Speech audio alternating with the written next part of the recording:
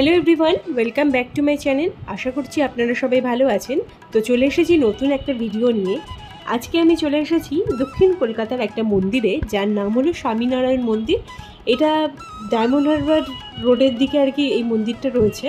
তো আপনাদের সাথে এই মন্দিরের সমস্ত কিছু শেয়ার করব। মানে কখন আপনারা এই মন্দিরে আসতে পারবেন, কখনই বা খোলে মন্দিরটা, আর এখানে কীভাবে আসবেন, আর এখানকার ভোগ বিতরণের টাইমিংই বা কী আছে, সমস্তটা আপনাদের সাথে এই ভিডিওর মাধ্যমে শেয়ার করব। তো চলুন, কীভাবে মন্দিরে আসব সেটা আগে ফার্স্টে জেনে নেওয়া যাক। প্রথমেই বলে রাখি, যদি আপনারা বাসে করে আসতে চান, তাহলে সেক্ষেত্রে ডায়মন্ড হারবারে কোনো বাসে আপনারা উঠতে পারেন। কারণ ডায়মন্ড হারবার রোডের রাস্তার ওপরে কিন্তু এই মন্দিরটা পড়ে। আর এছাড়া যদি আপনারা যদি ট্রেনে করে আসতে চান, তাহলে আপনারা বাড়িপুর স্টেশনে নেবে ওখান থেকে গাড়ি বুক করে আপনারা কিন্তু ইজিলি এই মন্দিরে পৌঁছে যেতে পারবেন। আর টালিগঞ্জের দিক থেকে যদি আপনারা এসে থাকেন, তাহলে সেক্ষেত্রে আপনারা জোকার রাস্তাটা ধরে এই মন্দিরে আসতে পারেন। আমরা যাচ্ছি নেপালগঞ্জের দিকের রাস্তাটা নিয়ে, যেটা জৈনপুর হয়ে যাচ্ছে। তো এরকম অনেক রাস্তা দিয়েই কিন্তু আপনারা ইজিলি এই মন্দিরে আসতে পারবেন। তো আমরা মন্দিরের কাছাকাছি পৌঁছে গেছি। বাড়ি থেকে আমাদের মন্দিরে আসতে মোটামুটি পঁয়তাল্লিশ মিনিট মতো টাইম লাগল। তো এখন মেন গেটটা যেটা, সেই গেটটা দিয়ে ঢুকতে হবে। দেখুন, রাস্তার উপরে কিন্তু একদম মন্দিরটা। তো বাসে করে আসলেও কিন্তু আপনাদের এখানেই নামতে হবে। তো এটা হচ্ছে মেন গেট এই গেটটা দিয়ে ভেতরে ঢুকতে হবে। আর সামনে এই মেন গেটের ওপরেই কিন্তু এখানে পার্কিং চার্জেসগুলো সব লেখা রয়েছে। আর এবারে গেট দিয়ে ঢুকেই আপনাদের রাইট সাইডে যেতে হবে। কারণ এখানে পার্কিং এরিয়া রয়েছে। এটা হলো পার্কিং এরিয়া আর পার্কিং এরিয়াটা কিন্তু বেশ বড় রয়েছে। আর এখানে হচ্ছে চার চাকার জন্য ফিফটি রুপিস তো যতক্ষণ মন্দির খোলা থাকবে ততক্ষণ আর কি ফিফটি রুপিস এটা চার্জেস এর থেকে এক্সট্রা হয় না। আর দু চাকার জন্য হচ্ছে কুড়ি টাকা করে। পার্কিং এরিয়া থেকে কিছুটা হেঁটে আসলেই আপনারা এখানে ওয়াশরুম পেয়ে যাবেন। এই সামনেই রয়েছে ওয়াশরুম তো পার্কিং লট থেকে চলে এসেছি মেন গেটের সামনে। তো এটা হচ্ছে মেন গেট একদম সামনেই রাস্তা। তো বাসে করে আসলে এই রাস্তা দিয়ে কিন্তু আপনাদের নামতে হবে, একদম সামনেই। তো মন্দিরের মেন গেটের থেকে বাঁ দিকে গেলে আপনারা মন্দির পেয়ে যাচ্ছেন আর ডান দিকে গেলে আপনারা পার্কিং এরিয়ায় যেতে পারবেন। আর এখন আমরা বাঁ দিকটা ধরেছি, মন্দিরের দিকে যাচ্ছি।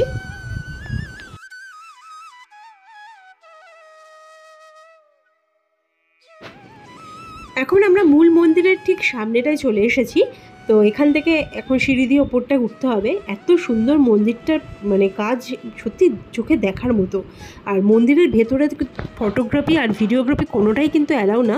তো মেন মন্দিরের ভেতরে তো আপনাদের সাথে আমি শেয়ার করতে পারব না। তো বাইরে যেখানে যেখানে ভিডিও, ফটোগ্রাফি অ্যালাউ, তো সেই জায়গাগুলো আপনাদের জন্য ক্যাপচার করার চেষ্টা করছি।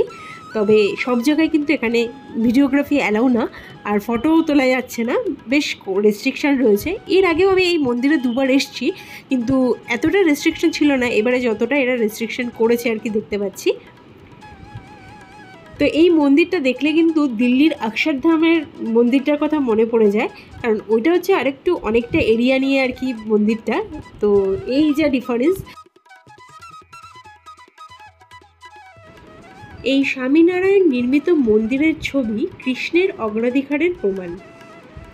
তার জীবনে নির্মিত সমস্ত মন্দিরেই কৃষ্ণের কোনো না কোনো রূপ দেখা যায় এবং সেই থেকেই সমস্ত মন্দিরে এই ধরনের পূজাযোগ্য মূর্তি রয়েছে। অন্যান্য হিন্দু মন্দিরের মতো এই স্বামীনারায়ণ মন্দিরের কেন্দ্রীয় মন্দিরের চারপাশে হাঁটার পথ রয়েছে, যাতে মন্দিরের চারপাশটা ভালোভাবে প্রদক্ষিণ করা যেতে পারে।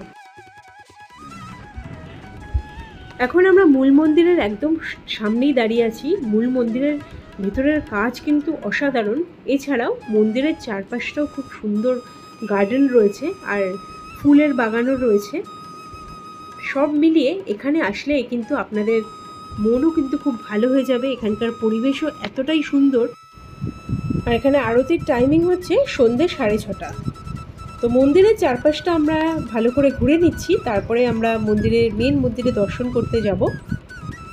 তো এইগুলো সব মন্দিরের সাইডগুলোতে রয়েছে আর কি, এখান থেকে সাইড পুরোটাই আপনারা ঘুরে দেখতে পারবেন। মন্দিরে আমাদের দর্শন করা হয়ে গেছে, এখন আমরা বাইরে চলে এসেছি। আর ভেতরটাও কিন্তু খুবই সুন্দর, আর ওখানে কিন্তু আপনারা পুজোও দিতে পারবেন।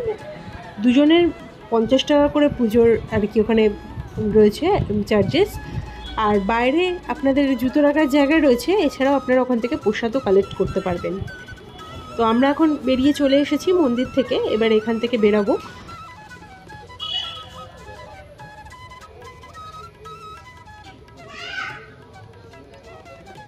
এখানকার টাইমিংটা সম্বন্ধে একটু বলে দিই। এখানে সকালবেলা আটটা থেকে বারোটা অবধি ওপেন থাকে মর্নিং টাইমটা আর বিকেলে হচ্ছে চারটে থেকে আবার খোলে। চারটে থেকে আটটা অবধি হচ্ছে ওপেন থাকে। বিদেশে আর কোথায় কোথায় এই স্বামীনারায়ণের মন্দির রয়েছে, সেগুলো সব এখানে দেওয়া রয়েছে।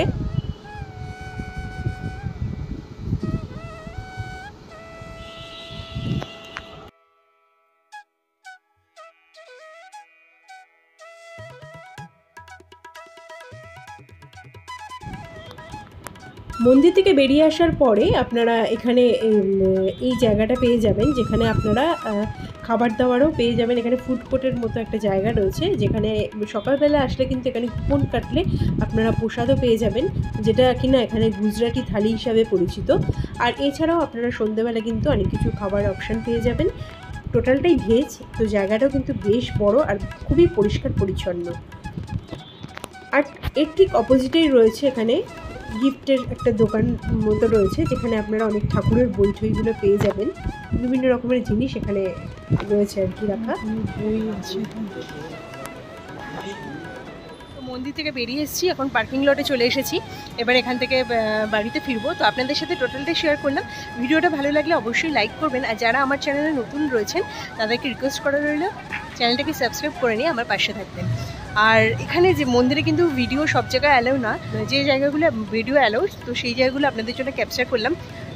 তো আজকের ভিডিওটা আমি এখানেই শেষ করছি। সবাই ভালো থাকবেন, সুস্থ থাকবেন। দেখা হচ্ছে পরবর্তী কোনো একটা ভিডিওর সাথে। ততক্ষণের জন্য, টাটা।